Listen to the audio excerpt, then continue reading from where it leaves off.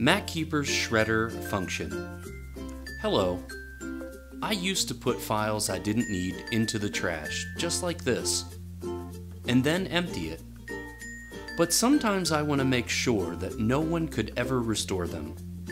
And since I have MacKeeper, I'll use MacKeeper's Shredder tool to get rid of these files for good.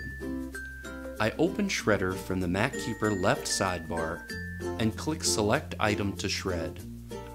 Then I select a file from the Finder window, or press Command A to select all of them.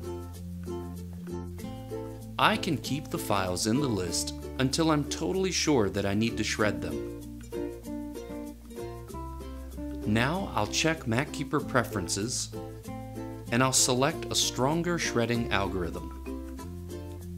Some of these files don't need to be overwritten that securely, so I'll choose a weaker but faster algorithm.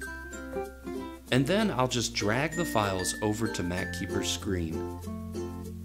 All done. No one will be able to restore my files now.